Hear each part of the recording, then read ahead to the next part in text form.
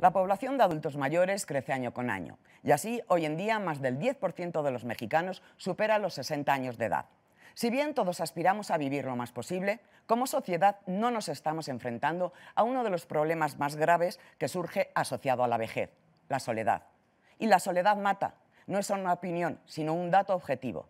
Nos encontramos con una problemática que antes era excepcional y que ahora cada vez es más frecuente. Hablamos de las personas mayores que mueren solas en sus domicilios. Un drama social que se va acentuando por el hecho de que en numerosas ocasiones pasan días hasta que se descubre el cadáver.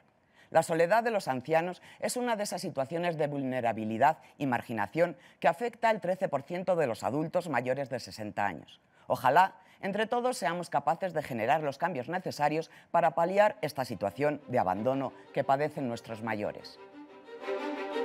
Música